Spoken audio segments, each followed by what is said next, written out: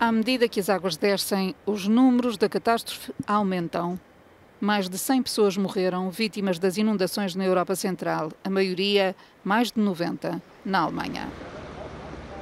No terreno estão centenas de equipas de busca e salvamento. Há pelo menos 1.300 pessoas dadas como desaparecidas.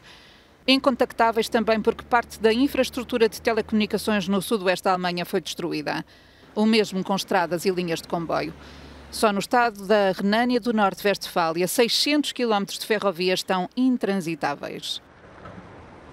As inundações repentinas desta semana seguiram-se a dias de chuva intensa que transformaram ribeiros em violentos cursos de água e lama que semearam destruição, varreram carros e causaram o colapso de casas em toda a região.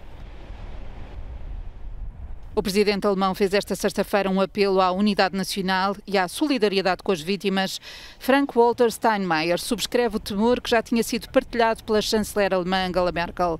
A verdadeira dimensão da tragédia ainda está por conhecer.